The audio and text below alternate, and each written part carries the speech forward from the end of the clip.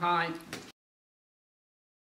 I'm going to be asking you a few questions, if that's okay. Yeah, that's fine, of course. So, the first one what originally got you started out in acting? Um, what got me started out? I'd say I've always liked acting and loved film from a young age, and I kind of always thought it'd be a bit of a dream job to be on the screen acting and doing doing what I want to do and um, being like the actors that I watched as a child. So yeah, I think f- from from as early as I can remember, I've always wanted to be an actor, and that's kind of what got me into it, my passion for film. What was it like to work with the other members of the cast? Um, it was really good. We had a really good team spirit going on.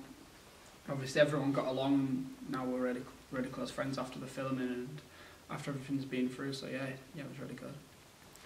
Did you have to do anything to get yourself prepared for the role, or did it come naturally? Um, I think I do like a little bit of method acting, so I wouldn't say it came fully natu- naturally to me, but um, yeah, I just kind of got in the zone, tried learning a bit about the character, and then it, it flowed, and I was able to, um, well, hopefully get what the director wanted from the character. Do you have a favourite villain Favourite villain of any movie? of any movie? I'd say it'd have to be Darth Vader. I know it's probably quite a common one, but it's just a classic villain. It's a scary voice, no face, all that kind of thing. He's got everything kind of villainy about him. In the movie, there is a party scene. Show us your best dance move. That's not happening. Who do you think is going to love this film? Um, I think everyone's going to love this film. I mean, obviously, our target's kind of teenagers um, and kind of younger people, but I think it's a film that can be enjoyed by everyone. It's got a really solid plot, really good characters, everything about it's kind of really good and can be enjoyed and appreciated by everyone. So, Is there anything surprising about this film? um, well, yeah, there's a few surprises and a few kind of twists and turns. Obviously, I can't reveal too much about that. Did anyone get injured on set? Uh, there was actually one incident which was which was um, quite serious. Actually, we thought it was worse than it was, but it's Ben sprained his ankle. Um, so yeah, that was kind of the main, main and only accident that happened. It was quite unfortunate. Did you struggle to pronounce any of the names? Yours is quite easy, it's Matthew, but the others are quite hard. Um, not really. I think once you've heard it a couple of times, get used to saying it. It's all right. It comes quite, quite easily. Yeah, for the other names. The film is based highly upon revenge. Have you ever taken out revenge on someone or something?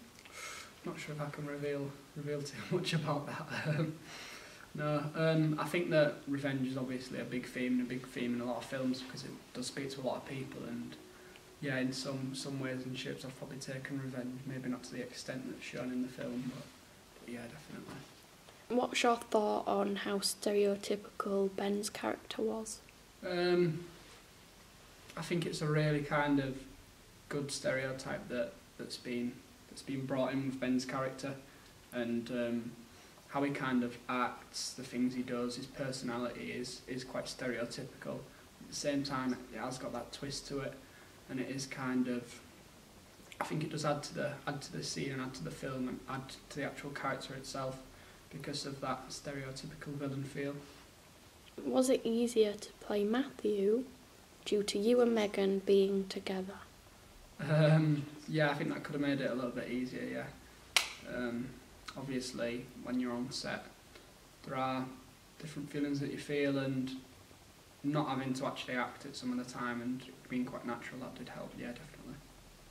The audience only got to see a clip until the film is released in May.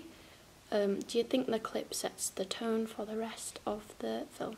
Um, oh yeah, definitely. I think that the clip kind of sets the feeling and portrays kind of the feel of, of the film and how it's set without revealing too much. Obviously, it is a film with twists and turns and all sorts of things going on, and we don't want to reveal too much of that, but set the scene. And I think it, yeah, does it really effectively.